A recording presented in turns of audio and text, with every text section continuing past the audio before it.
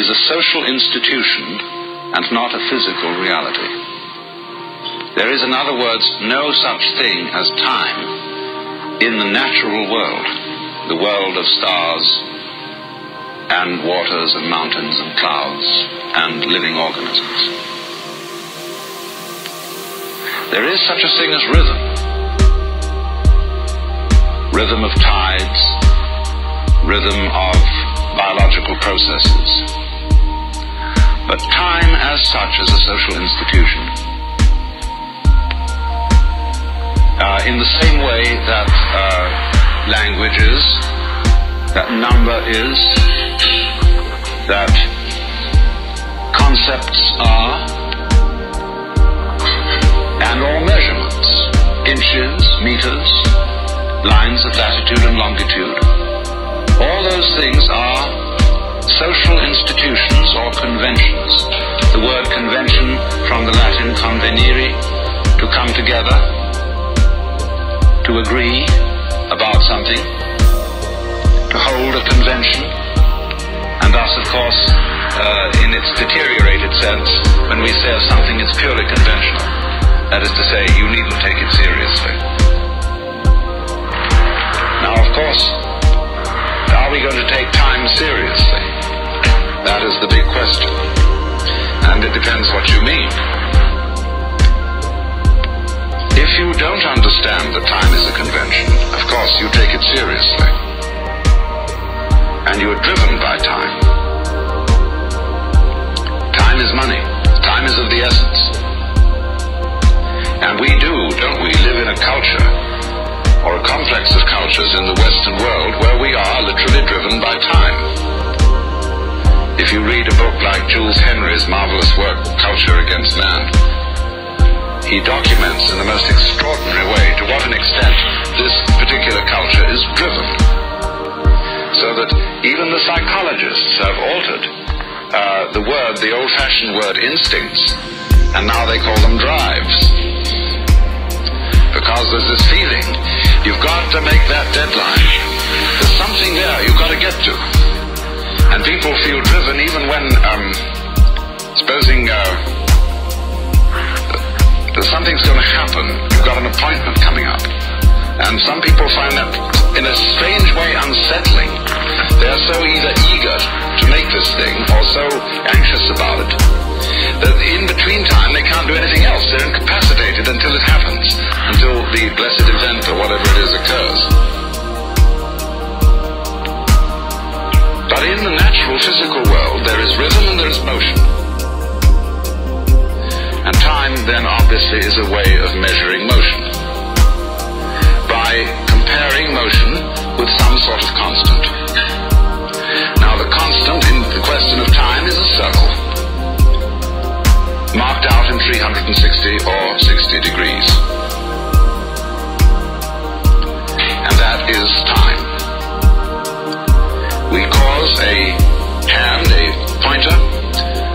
to revolve around that circle at a regular speed, and that gives us a constant with which we compare all kinds of motions and rhythms. And so the clock is just like a ruler and is as abstract as a ruler. And must be taken just for that, which means in a way not seriously, you see.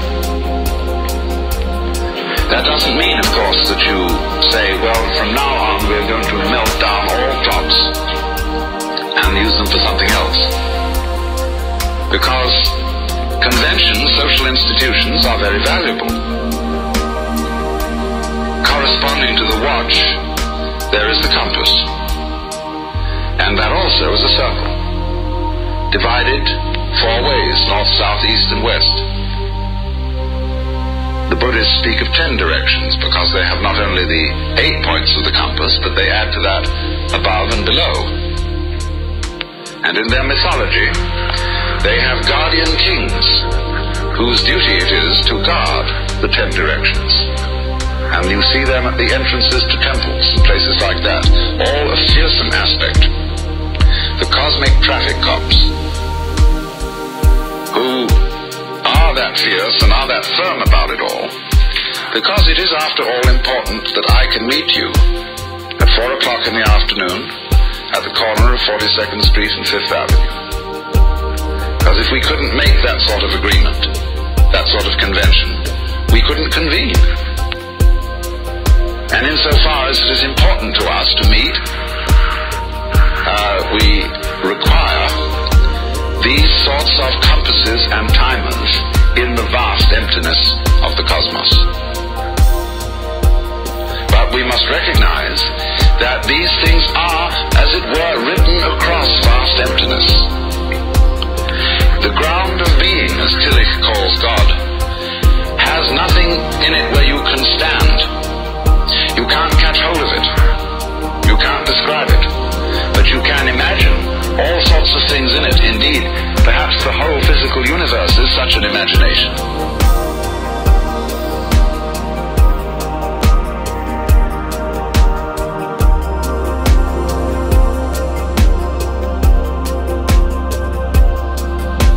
There are, of course, sort of gradations of reality. One could say the clock, the lines of latitude and longitude, are and words and things like that, abstractions, have a rather flimsy kind of reality.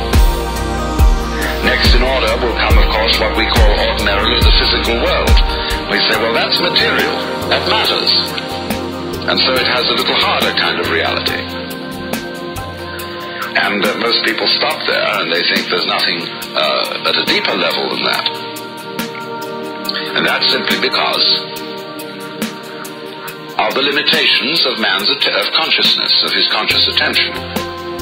Conscious attention uh, is so uh, worked out that it tends to ignore all constants. In other words, when you move from the Middle West and come and live in California, at first when you get here you think, oh, this is a fantastic place. See? It is so beautiful and so lush and so on. And you stay here after a while, and uh, in a few years you start taking the place for granted. Because it's a constant stimulation of consciousness. Also, for example, when you're listening to recorded music, there is always a kind of electronic hum. But we screen that out and ignore it. And so it becomes unconscious. Well, so in a similar way, there is what you might call a continuum, a something or other, in which all physical phenomena exist. And uh, you ignore it unless in some way or other you can make it hum. And so various practices like uh, performing yoga exercises or Zen meditations or certain kinds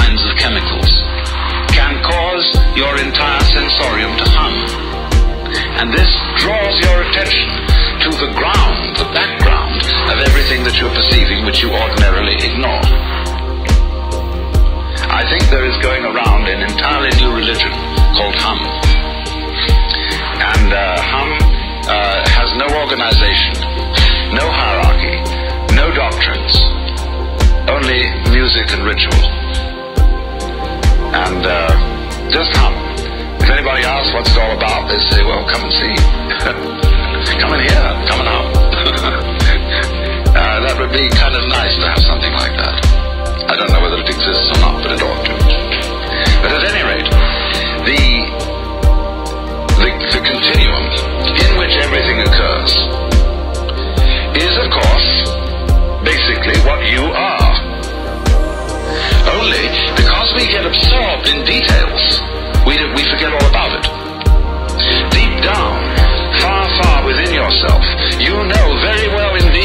that you are that.